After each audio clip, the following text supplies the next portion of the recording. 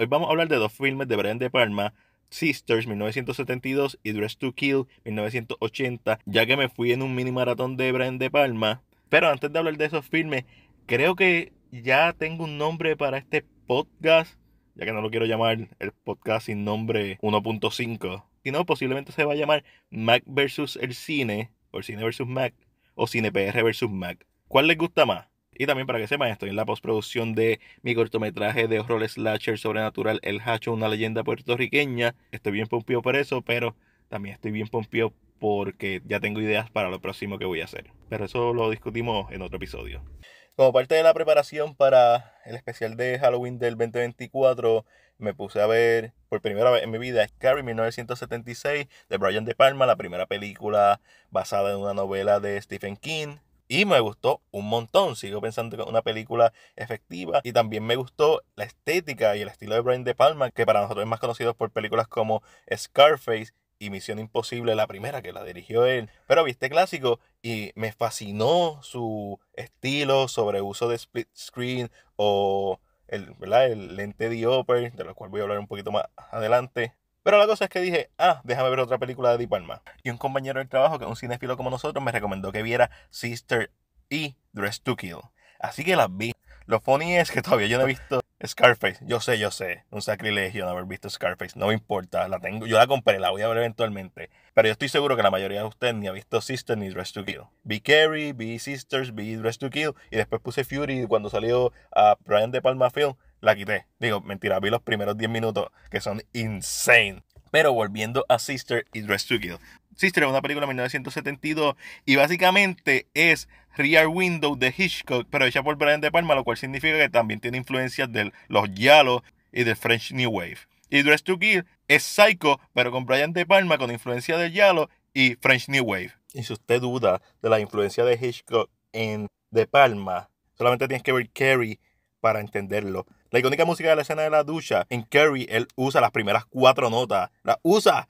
Ambas películas están fenomenales. Mi favorita es Dress to Kill. Pero las tomas más geniales que yo he visto en una película de Di Palma son The Sisters. Sisters está protagonizada por Margot Kidder, que eso sí lo busqué, que es la Lois Lane de las películas originales de Superman. Es sobre esta modelo que está en un show de televisión y está actuando en el mismo y después se va con uno de los actores y se van a chichar y de momento como que es el día de cumpleaños de ella, pero tiene una hermana gemela que simplemente la menciona y después descubrimos que es que tiene doble personalidad. Algo así como Psycho, pero lo interesante es que ella era eh, una siamés y de adulta le hicieron una operación y una de ellas murió y entonces ella se quedó con eso. Cosas que más o menos hemos visto en películas modernas como Malignant. Pero lo interesante de estas dos películas de Di Palma es que quien tú piensas que es su protagonista,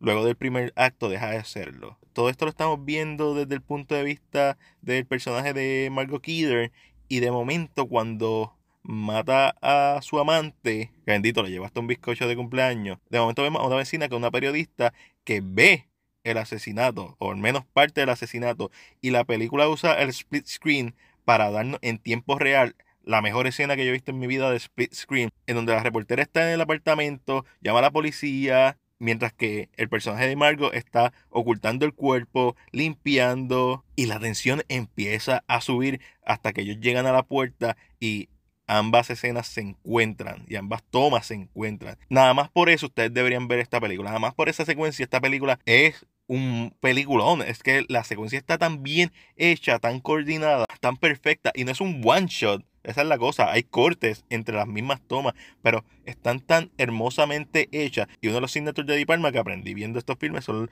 el split screen, o sea, cuando la pantalla se rompe a la mitad y para ver dos cosas. Pero también Di Palma usa mucho el lente dioper. La mitad de este lente uno finito y la otra mitad más gruesa o viceversa, el cual permite que se enfoque tanto cosas que están al frente como cosas que están en el fondo. Cosa que entiendo que también es sacada de Hitchcock, ya que Hitchcock lo hace en The Birds, pero Hitchcock no lo hace con un lente diopter porque creo que no existían para ese tiempo, sino con mucha iluminación en el fondo. Pero crea el mismo efecto, lo cual hace que se sienta que el personaje que está enfrente de la cámara está unido a lo que está pasando detrás, está consciente de lo que está pasando detrás y crea tensión. Pero también usa el split screen para crear tensión y ver dos cosas pasando a la misma vez. Y normalmente lo que hace De Palma es que ya el público sabe lo que está pasando y, y uno de los personajes no sabe lo que está pasando y lo está redescubriendo, creando una tensión bien sólida. En Carrie específicamente, la escena del baile final antes de que le, tiren el, el bucket de sangre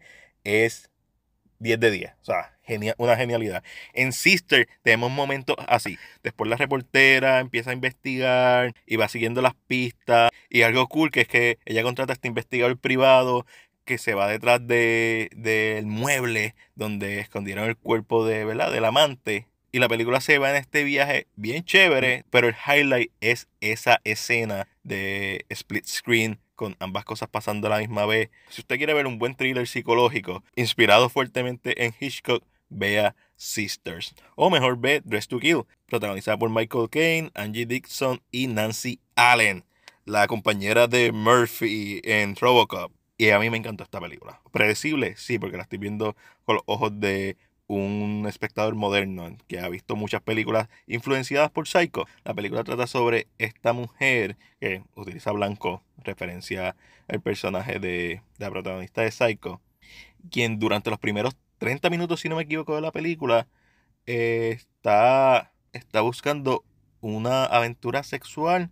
Ella es una MILF, es una persona casada. La película empieza con un sueño erótico y termina actually con un sueño erótico. Básicamente la película empieza y termina en el mismo lugar, lo cual estuvo súper cool porque se siente que hace un, círculo completo. Pero durante los primeros minutos, yo sin saber nada de esta película, estaba como que, ok, esto empezó así, esto empezó así, ah, esto es Psycho.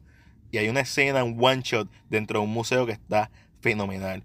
Y después de eso, el filme sigue tirando curvas hasta que tenemos el equivalente a la escena de la bañera en Psycho, que aquí es la escena del ascensor, en donde matan a esta persona y entonces el personaje de Nancy Allen lo descubre que ella es una prostituta, o una score, mejor dicho. Y entonces pues tenemos toda esta investigación y tenemos este thriller psicológico de quién lo hizo y la película intenta tirar curvas, pero es bien obvio quién es el asesino. Entonces, entre el personaje de Michael Caine, que es el psicólogo de la que uno pensaba que iba a ser la protagonista porque lo fue durante los primeros 30 minutos de la película, y tenemos este filme en donde el hijo de la que mataron está tratando de investigar. Es una película divertida de ver, tensa. Sí, la representación de personajes afroamericanos, pues un poquito cartoonish y cliché, pero un peliculón. Me gustó un montón. Algo que también me gustó de Dress to Kill es es que a pesar de los estereotipos, el filme está lo suficiente consciente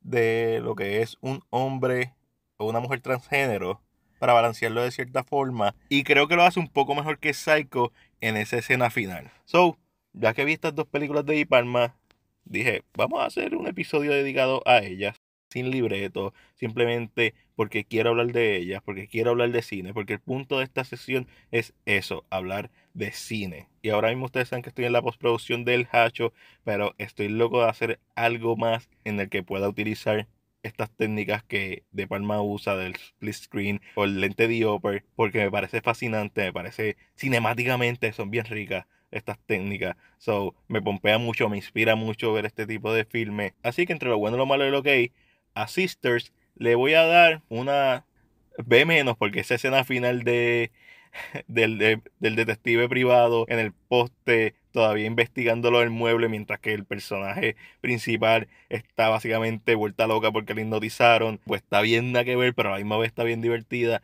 Pero no sé, como que está medio... Es cuestionable, pero no deja de ser divertida. Mientras que Dress to Kill yo le voy a dar una una vez sólida.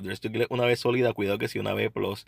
Peliculón, a mí me freaking encantó. Si tienes alguna recomendación sobre un filme de Brian De Palma que debería ver, coméntala en la sección de comentarios. Como siempre, si te gustó este video, dale like y compártelo. Recuerda suscribirte a nuestro canal de YouTube y darle a la campana de notificaciones para que no te pierdas nuestro próximo video. Este fue Mac de Cine PR y será hasta la próxima.